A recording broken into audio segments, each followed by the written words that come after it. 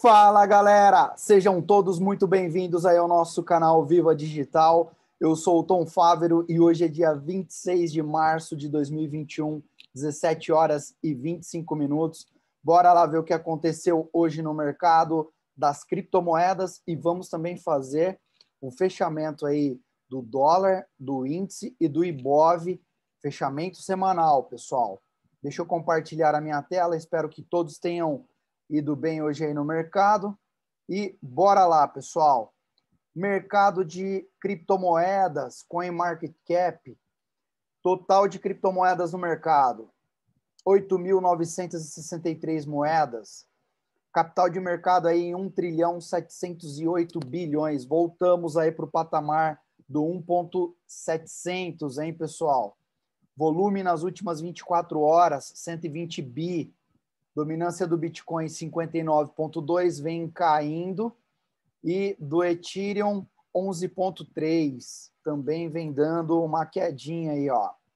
Bitcoin, pessoal, é, nos últimos sete dias, 7,63% de queda. Lembrando que hoje era o dia dos vencimentos dos contratos futuros para Bitcoin, tá? Então muita gente realizou lá no topo, deixou cair, cair, cair, agora começa a comprar aí perto do fundo.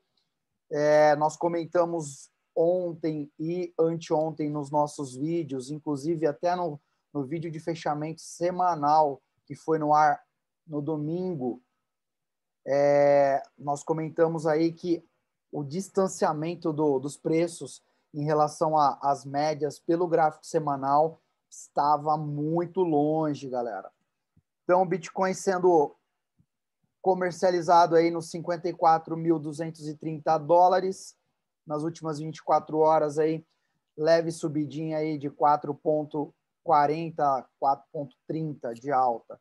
Ethereum também caiu drasticamente aí nos últimos sete dias, 8,35, sendo comercializada a 1,673.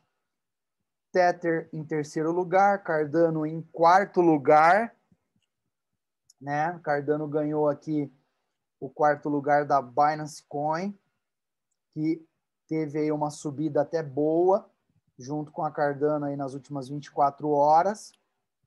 DOT em sexto, Ripple em sétimo. Ripple nos últimos sete dias aí quase 20% de alta. Nas últimas 24 horas, 10,40, subindo bem. Litecoin perdeu a nona posição aqui para Teta. Litecoin está naquela briga entre 160, 170 dólares e 230 dólares e Bitcoin patinando, patinando. Não sei por que Bitcoin não anda, pessoal. É uma puta de uma moeda. É a prata, né? Bitcoin é o ouro, Litecoin é a prata.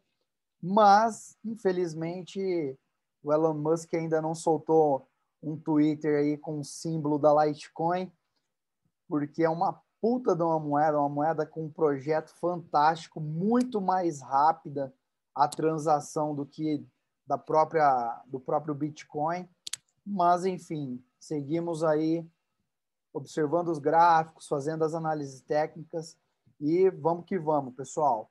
Link em 11 lugar, Bitcoin Cash perdeu aqui duas ou três posições, está na 13ª posição.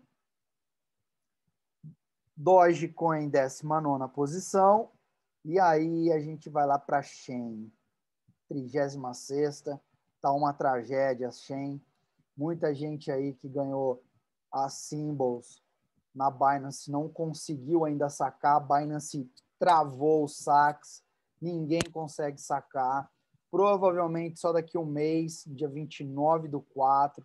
Tem um negócio aí meio estranho é, em relação aos saques aí da symbol dentro da, da Binance, pessoal. Muito, muito esquisito. Bom, vamos dar uma olhada aqui no gráfico. Bitcoin, pessoal. Deixa eu pegar aqui as anotações. Bitcoin, gráfico de 4 horas, par dólar, Bitstamp acionou aqui um pivôzinho de alta, né? Então a gente tem esse movimento aqui, ó. E abre o primeiro alvo aqui em 56 mil, mais ou menos, 59, 55,900, né? 56 mil. E depois alvos aqui em cima nos 57.300, tá? É o que a gente espera que Bitcoin faça esse movimento. E depois deixa aqui, ó, um ombro, cabeça, né? E ombro invertido. E aí a gente projeta esse cara aqui lá para cima. Lembrando, pessoal, deixa eu apagar os desenhos aqui. Se nós olharmos e observarmos o gráfico semanal do Bitcoin, que é o gráfico que a gente vem observando e vem seguindo, é uma bagunça aqui de linhas, de estudos, de Fibonacci, de tudo. Pessoal, olha aqui o que nós já estamos comentando aí desde domingo. Então, a galera que está chegando no, no nosso canal agora, dá uma maratonada aí nos vídeos, pega desde o nosso vídeo aí de domingo, do fechamento, onde nós comentamos aqui, ó, média de 9 pelo semanal, os preços estavam lá em cima, muito longe, então o mercado volta para fazer os retestes, volta para poder ficar mais tranquilo para a galera comprar, porque topo não adianta. Comprar topo vai tomar stop. Bate numa região aqui de suporte, ó, e tá tentando aqui pelo semanal voltar acima aí dos 55, 56 mil dólares, tá? Se deixar o um martelo aqui, se deixar, por que eu tô falando isso? Hoje é sexta-feira e o gráfico semanal só vai esse candle aqui, ó, só vai ser fechado no domingo, no próximo domingo aqui, dia 28, às 21 horas. Então, muita coisa pode acontecer. Esse cara pode voltar aqui embaixo, bater na média, perder a média, voltar aqui para baixo, em outra região de suporte, ou esse cara pode subir, deixar o martelo e aí ganhar força por conta dos vencimentos aí dos contratos futuros, entrar uma pressão compradora muito forte, rompe o topo e segue a alta do Bitcoin. Tá? Muita gente, quando vê aqui no gráfico diário, né? Queda, queda, queda, pivô. É, ah, tem alvos aqui embaixo. Olha onde, pelo gráfico diário, ele abre alvos de Fibonacci em cima da 9 do semanal, tá? Então, ele se distancia das médias, ó, ele volta para as médias. Agora, o que ele precisa fazer? Ganhar essa, essa toda essa amplitude aqui, ó, romper linha de tendência de baixa e voltar a subir, porque senão esse cara pode deixar também, tá? Um ombro, cabeça, ombro pelo gráfico diário, oco no topo é queda, pessoal. Então, por isso que a gente olha gráfico semanal, gráfico diário, é, gráfico de 4 horas, gráfico de 12 horas, gráfico horário, e para quem quer pegar alguns scalps aí, gráfico de 30 minutos, 15 minutos, para pegar alguns setups ali de compra ou de venda e ficar bem posicionado. É, Ethereum, galera. A gente vai fazer aqui o nosso a nossa análise no gráfico de 4 horas, ó. Ethereum bate alvos da cabeça do pivô, recua para as médias. Se Ethereum, prestem atenção, galera, ó, bate, se Ethereum parar, deixar um topo mais alto que esse topo anterior, um fundo, desculpa, um fundo mais alto que o fundo anterior, em cima de uma região de Fibo, esse cara pode voltar a subir, tá? E aí a gente volta aqui para os nossos estudos, onde a gente tem um ombro, cabeça, ombro invertido, e aí ele pode voltar para os topos anteriores.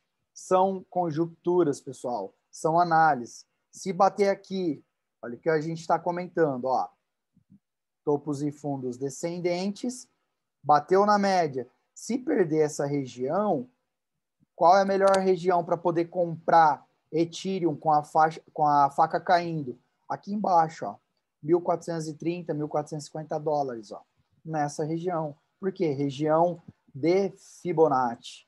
Lembrando, galera, ninguém está colocando dando call aqui de compra ou de venda. Ninguém está dizendo nada. Compra aqui, vende aqui. São apenas estudos, análise técnicas de estudos. Vocês fazem o que vocês bem entenderem aí com o dinheiro de vocês, tá? Então, tamo junto, vida que segue e vamos embora. Bitcoin Cash está fazendo praticamente o mesmo movimento aqui da Ethereum. Se a gente pegar esse pivô que fez aqui, ó, bateu o alvo, até extrapolou e tá voltando. Tá voltando para onde, galera? Para a cabeça do pivô. Onde é a cabeça do pivô aqui, ó? 506, 510 dólares. Então, precisa tomar cuidado. A gente pegou toda essa amplitude aqui, ó, de pivô, ó.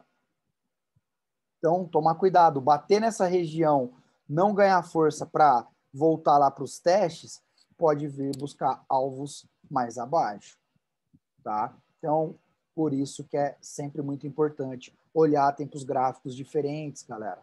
Ó, aqui embaixo, olha como o RSI já estava quase ficando pelo gráfico de quatro horas sobrevendido. Provavelmente, se nós olharmos aqui o gráfico de uma hora, olha que interessante, ele bateu sobrevenda aqui, ó.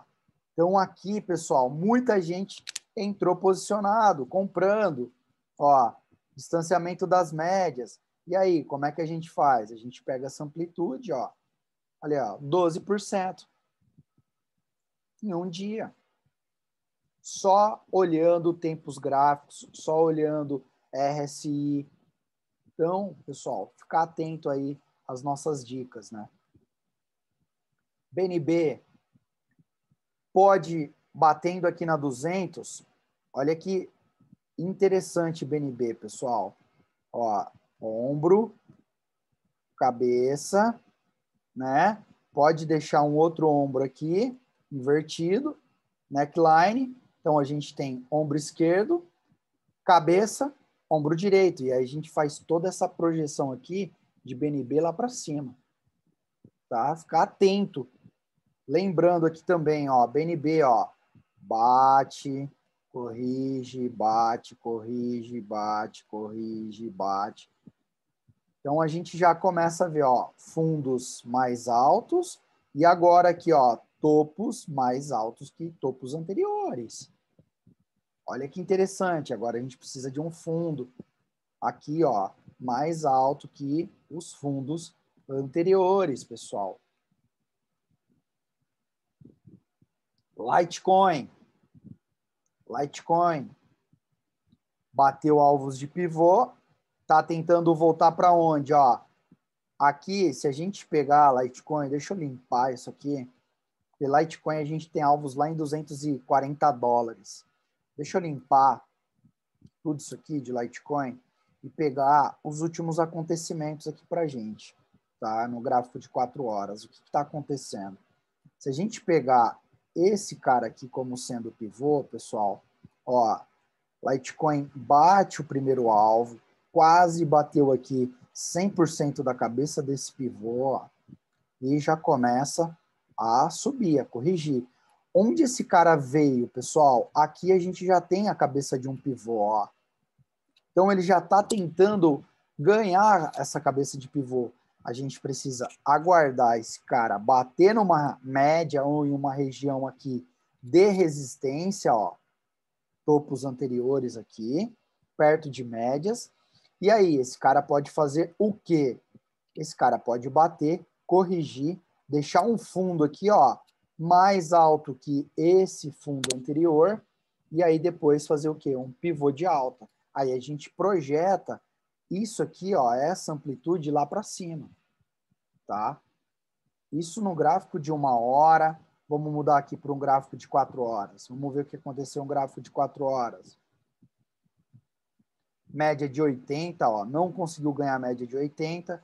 Região aqui de topos anteriores, próximo à média de 200 e a média de 80, pelo gráfico de quatro horas. Então, ele pode bater aqui e pode deixar o que nós Olha como uma coisa vai encaixando na outra, ó. Ombro, cabeça e ombro invertido. E aí a gente tem o quê? Um OCOI, pessoal, pelo gráfico de quatro horas. E aí a gente projeta toda essa amplitude aqui depois lá para cima. Então, olha como os time frames, eles vão se interligando. Um vai batendo com o outro, pessoal. Cardano. Cardano teve uma explosão aqui, ó, não rompeu ainda essa região é, do, de 1,30 centavos, né, 1 dólar e 30. Só que precisa tomar cuidado com Cardano agora, porque bateu nessa região aqui, ó, esse topo já está mais baixo que esse topo, que é mais baixo com esse que esse outro topo. E aí, ó, fundo, fundo mais baixo, fundo mais baixo. Então, a gente precisa tomar cuidado com isso aqui, ó. Se esse cara não volta aqui para baixo, tá? Se ele bateu aqui e tá deixando um pivô aqui para gente, ó, bater aqui na média, nas médias, né? Segurar, esse cara volta lá para cima, tá? Se ele estiver fazendo esse movimento aqui, ó, bate nas médias e volta lá para cima, a gente projeta esse cara aqui lá para cima, tá? Agora, se esse cara não rompe essa região aqui e perde esse fundo de um dólar, aí esse cara corrige um pouco mais tá? Por isso que a gente tem que ficar atento. Ripple, galera. Ripple rompeu o triângulo ascendente, voltou para dentro de novo dessa congestão. Precisa ganhar essa região aqui dos 60 cents para buscar alvos lá em cima, ó. 72 centavos. Ele está no meio de uma puta de uma congestão. Então precisa tomar cuidado, tá? Para quem está fazendo hold a longo prazo, segue aí o, jogo, segue é, guardando aí, comprando na baixa e fazendo um lucrinho aqui na, na alta, bateu na parte superior, vende, na parte inferior, compra, tá? É, deixa eu pegar aqui agora, pessoal. Vamos dar uma olhada aqui no nosso IBOV. O que está acontecendo com o nosso IBOV, pessoal? O nosso IBOV aqui, vamos olhar o gráfico semanal desse cara. Não, gráfico mensal não, gráfico semanal do IBOV.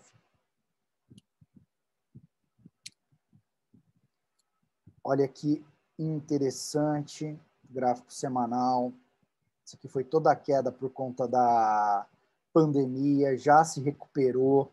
Aqui em cima a gente tem topo histórico, né? E aí, olha o que acontece, pessoal. Ele se distancia das médias, vem para as médias, lembrando que o IBOV, galera, ele deixou esse fundo, deixou esse topo, fez um fundo mais baixo. Se ele não consegue deixar um topo mais alto, que esses topos anteriores, a gente vai ver esse cara corrigir um pouco mais forte lá para baixo. Lembrando que aqui a gente tem uma região de suporte, depois outra região de suporte aqui, ó. Então, entre 102 e 106 mil pontos, a gente tem uma região de suporte, média de 80 períodos pelo semanal, e depois lá nos 94 e 400, 94 e 500. Isso pelo gráfico semanal, tá? Então, se a gente pega aqui, pessoal, esse pivô do que do que está acontecendo agora, ó, vamos abrir aqui e expandir esse cara. Ó, bateu um alvo, deixa eu aumentar o gráfico aqui para todo mundo ver. Olha o que acontece com o Ibov. Ó, ele bateu o primeiro alvo desse pivô aqui, ó, 161.8. E agora ele tem esse outro alvo aqui embaixo, 104 mil pontos em cima da 80 pelo gráfico semanal, tá? Deixa martelo, ó, em cima de média, rompe, não anda. O mercado tá muito esquisito, galera. Tá muito estranho gente não sabe se a gente vai ter um crash aí devido à, à quantidade de, de dólares né, que o governo americano no último ano aí injetou no mercado. Então, a gente não sabe se a gente pode ter um crash com pandemia, com inflação. Lembrando que o mercado tradicional, o que os governos fazem? Eles imprimem dinheiro, imprimem é, moeda fiduciária e jogam no mercado. Isso faz com que a inflação suba e o valor intrínseco né, do, do dinheiro, do real, do euro, do dólar, perde valor, porque eles colocam, enchem né, o mercado de, de moeda fiduciária. Então, isso é ruim para o mercado. Por isso que com o Bitcoin, o Bitcoin é deflacionário. O Bitcoin é, vai chegar um certo momento que chegou em 21 milhões de, de, de Bitcoins, acabou, não tem mais Bitcoin, acabou. Quem tem, tem, quem não tem, vai chupar o dedo, vai chupar bala, né? Esse é o grande detalhe. A criptomoeda veio para nenhum governo colocar a mão, e segundo ponto, para não deixar com, com que o governo faça esse tipo de coisa. Ah, vamos imprimir papel moeda aí, vamos imprimir moeda e jogar no mercado e depois a gente joga aí, deixa a inflação na mão da população, eles que se virem, né? É, é bem, bem foda e bem interessante isso. É, dólar. Olha o dólar, pessoal. A gente já vinha comentando aqui, ó, dólar no semanal. Olha que interessante o dólar ele bate o primeiro alvo de Fibo, dá uma violinada na galera, e aí ele fica devendo esse outro alvo aqui, ó, lá em cima. Mas antes, deixa eu colocar uma configuração aqui, ó, que eu quero o 2.0 nesse cara. Então, aqui, ó, nessa região, pessoal, seis reais né? A gente tem um alvo para o dólar em seis reais e o dólar possivelmente está pronto para ir para essa, essa região de alvos, mas a gente tem o lado do Bacen, né? O Banco Central. Então, todas as vezes que o, o dólar começa a esticar, esticar, esticar, o que acontece? O Bacen faz swap cambial, bate no cara para o cara poder fazer isso aqui, ó, derreter. Só que o mercado vai, peita o Bacen, compra, compra, compra, joga os preços lá para cima. Então, onde nós temos alvos de pivôs aqui para o dólar? R$ reais, ó, 6,034. Então, essa, esse é o nosso alvo para o dólar. Tá? E se a gente for ver o índice, o índice é uma cópia do IBOV. Tá num triângulo aqui, ó, também um triângulo simétrico, né? vai deixar possivelmente o um martelo, mas precisa romper, ó, tem gap aqui para fechar o índice. Lembrando, o Ibov não tem gap, o índice tem gap, tá? Então a gente tem um gapzinho aqui para fechar, ó, nessa região aqui, região de gap. Tentou, não conseguiu ganhar essa LTB aqui e vamos ver o que esse cara vai fazer. Linha dura aqui também para o índice, pessoal. Galera, espero que vocês tenham gostado e curtido o nosso vídeo. Obrigado aos mais de 300 inscritos. Muita coisa nova aí surgindo no nosso canal. Lembrando que assim que nós atingirmos os mil inscritos aqui no canal, nós vamos sortear é, 250 dólares em criptomoedas. Então, cada pessoa serão cinco ganhadores. Cada ganhador vai receber 50 dólares para comprar qualquer tipo de criptomoeda é, em qualquer corretora. A galera vai, a gente vai mandar esse, esse dólar para vocês e vocês se virem aí para poder comprar a moeda que vocês bem entender. Tá? Lembrando que a, corretora que a gente trabalha, mais trabalha é a Binance, pela quantidade de criptomoedas que ela tem né, dentro da, da, da corretora. E aí a gente vai fazer o sorteio e vai é, distribuir esses 50 dólares aí para cinco pessoas, né? Cinco ganhadores. Galera, muito obrigado a todos. Lembrando que domingo, dia 28, a gente faz o nosso fechamento semanal após as 21 horas. É, quando fecha o candle semanal, a gente faz o nosso vídeo de fechamento aí das criptomoedas. Então, bora lá, bora descansar, tomar aí umas brejas, né, curtir a família, se cuidem e até domingo aí no nosso próximo vídeo. Um abraço a todos, fui, tchau, tchau.